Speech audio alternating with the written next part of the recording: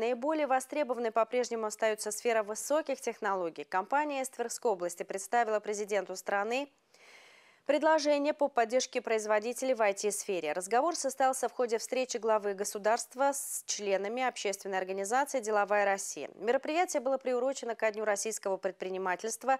В режиме видеоконференц-связи в нем приняли участие представители Верхневолжья. Председатель Совета Директор группы компании «Аквариус» Алексей Калинин считает, что в текущей ситуации у компании существует острая потребность в оборотных средствах.